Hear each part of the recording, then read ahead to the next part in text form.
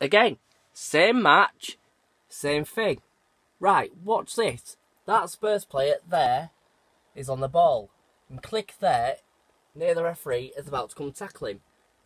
This one shows what the ball does when you tackle. So when your player, you're controlling, tackles, it goes a mile away from him, but to someone else. But when they tackle, the player who's tackled keeps the ball. Watch. So here comes Klich to tackle. Tackles. Goes away from him. Fair, like that. Now, fair enough, it goes to Bamford. So I still keep the ball. But, watch this next bit. That Spurs player there with the orange boots tackles.